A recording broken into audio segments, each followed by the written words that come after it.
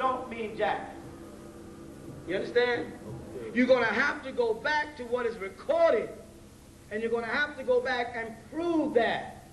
And because you were not writing in your language, but rather they were writing in Latin, and they were writing in Greek, you're going to find two words, Latin and Greek. One is morenos, and the other is nigger, the Greek word for black, found in your Bible in Acts chapter 3, verse, uh, chapter 13, verse 1, where they call him nigger, right in the Bible.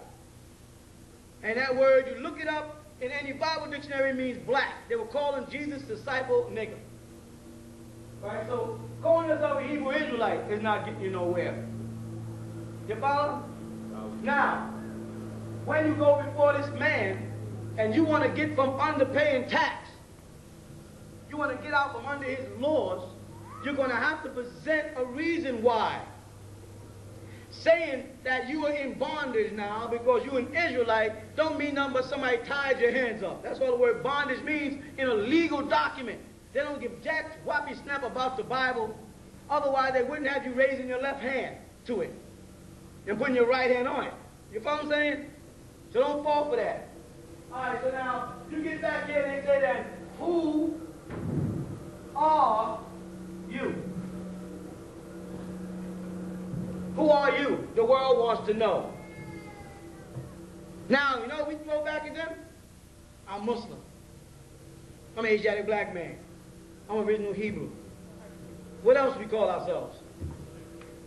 You know what I'm saying? Then he goes, like the Pharaoh did when Moses came back into Egypt. The Pharaoh said, who is your God? And he said, Jehovah. And he said, let's look this up. Said, we ain't got no Jehovah's in here. Moses I'll be right back. He went back to Jehovah. Said, Jehovah, I told them about you, and they said, um, you ain't in the book. Who should I say sent me? They said, say I am, that I am sent you. So Moses tracked back across the desert, went before the Pharaoh and said, uh, go ahead, what's your, what's your case?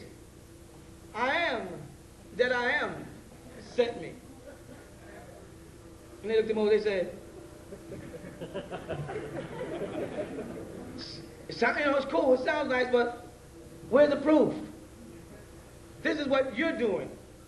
You're going before the great Pharaoh of this land, and you're walking in there and you're going, I am a Muslim. And they're going,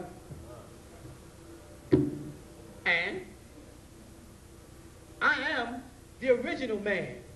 They go, go ahead.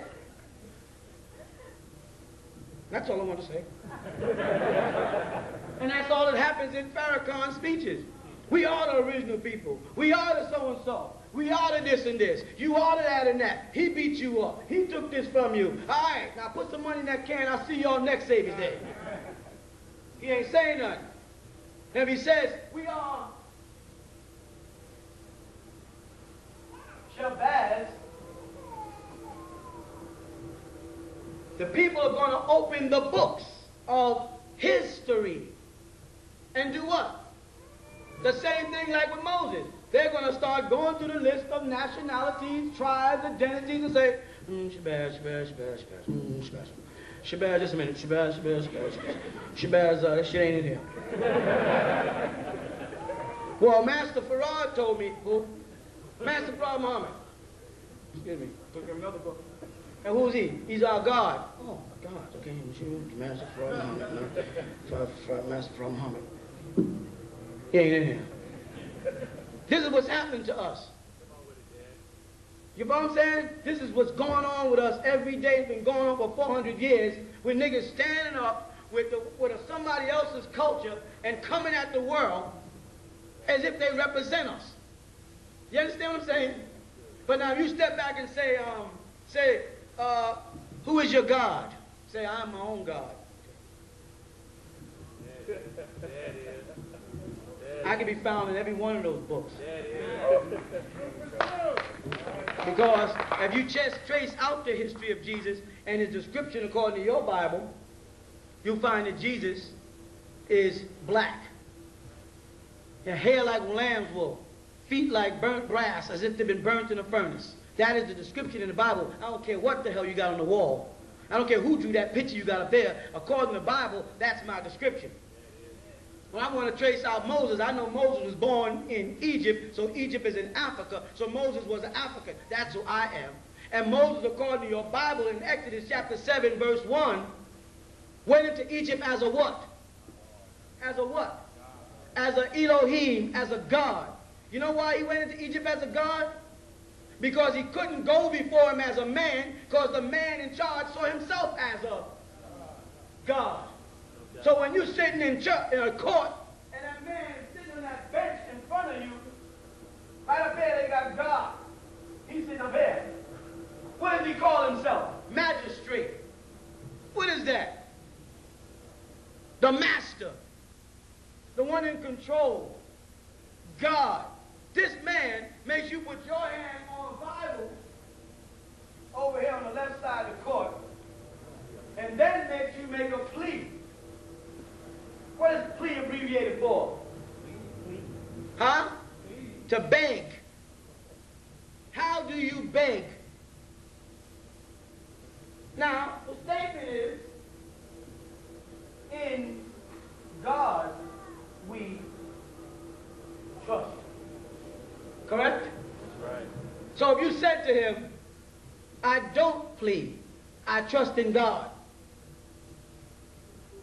and you're not God, so you can't sentence me, because vengeance is mine, says the Lord. So now, if you want to sentence me, you got to bring the Lord down here personally and have him sitting on that seat. That's the only way I can get judged or in God we trust have to come down because you ain't my God and I don't trust you. Come on with it. You may catch hell there in court, but you will be right and you will eventually win. And if they can hush it up, they'll push it out to court. Because you don't have to plead to no man that has a court that says, in God we trust. You would have to deal with who? God. And, and that judge is not God until you surrender yourself to him in a plea. Or what they refer to as a plea bargain. Listen to that close. A plea bargain. I commit a crime. Right? You're the judge. You know I committed the crime. The DA works under the judge. He knows I committed the crime. I, I know I committed the crime. My lawyer knows I committed the crime. And I can go into the back room and make a deal called a plea bargain. Which means the judge, the DA and them are willing to overlook the crime. Is that justice? No. If I committed the crime, I should be tried and sentenced. How can you give me, how can you make a bargain with crime? If there's laws of right and wrong, how can you bargain with it? How can you batar crime? That tells you there's no system there. You understand? You pay tax because you want to pay tax. And they'll chase you down and beat you up for those tax because you want to pay tax.